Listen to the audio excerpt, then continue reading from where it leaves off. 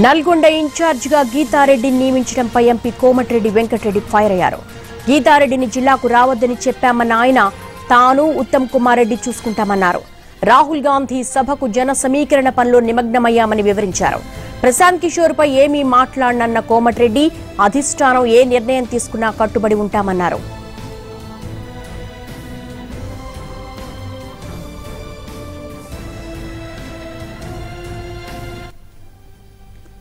కోమటిరెడ్డితో మా ప్రతినిధి Chari face to face చూద్దాం. పీకే రాహుల్ గాంధీ సోనియా గాంధీతో భేటీ అయ్యారు. తర్వాత ఇప్పుడు కేసీఆర్తో భేటీ అయ్యారు. దీన్ని ఎట్లా చూస్తారు? పీకేలా అలాంటి క్వశ్చన్లు మీరు అడగొద్దు దాన్ని చెప్పొద్దు. రాహుల్ గాంధీ సభ గురించి అడగండి మేము చెప్తాం. అంటే ఎట్లా చూస్తారు? పొలిటికల్ ఈక్వేషన్లో అక్కడ కాంగ్రెస్తో కలిసి పనిచేస్తా అన్నారు. ఇక్కడికి వచ్చి సీఎంతో గంటలకు తరబడి భేటీగా ఫైనల్గా మా సోనియా గాంధీ గారు మా రాహుల్ గాంధీ గారు ఏ నిర్ణయం తీసుకున్నా ఆ నిర్ణయాన్ని మేము కట్టుబడి ఉంటాం. అంటే ఈ రాహుల్ గాంధీ సభకు సంబంధించి ఎట్లాంటి ఏర్పాట్లు చేస్తున్నారు? మీరు నిన్న మీటింగ్కి రాలేదు. ఈ సమావేశానికి సంబంధించి జన సమీకరణకు ఎట్లా ఉంది? నిన్న నేను వేరే ప్రోగ్రామ్స్ ఉండే అది కూడా రాహుల్ గాంధీ సభ గురించి వెహికల్స్ గురించి ఏర్పాటు ఉండే. దాని మీదనే ఉన్నాను.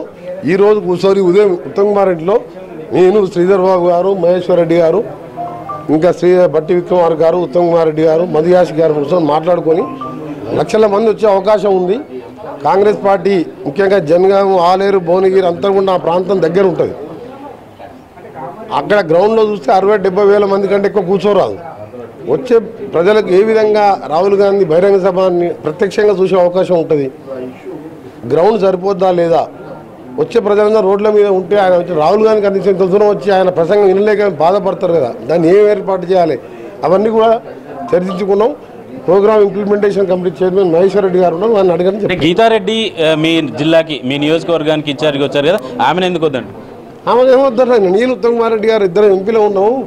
మీ సమయం వేస్ట్. మేము అన్ని వెహికల్స్ అన్ని ఏర్పాటు చేసుకున్నాం. అక్కడ మీరేం అవసరం లేదు. మీరు వేరే ప్రాంతంలో చూసుకోండి. ఎందుకంటే జైరాబాద్ కానీ అక్కడెక్కడెక్కడ వీక్ ఉంటే అక్కడ చూసుకోండి. మా దగ్గర నేను ఉత్తమ్ కుమార్ రెడ్డి చూసుకుంటాను.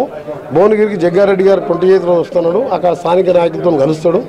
నా లెవెల్లో నేను అప్పుడే పోయి అన్ని వెహికల్స్ ఏర్పాటు చేసుకుని వచ్చిన. రైట్ మొత్తానికి ఈ పీకేకి సంబంధించినటువంటి వ్యవహారంలో స్పందించడానికి కాంగ్రెస్ పార్టీలు నిరాకరించారు. అధిష్టానం ఎలాంటి నిర్ణయం తీసుకున్నా దానికి కట్టుబడి ఉంటామని చెప్తున్నప్పటికీ పార్టీలో ఎలాంటి చర్చ జరుగుతుంది? పీకేకి సంబంధించినటువంటి వ్యవహారాల మీద ఆసక్తికరమైనటువంటి చర్చ మాత్రం జరుగుతోంది. కెమెరా శ్రీనివాస్ గారితో చారి ఎన్టీవీ హైదరాబాద్.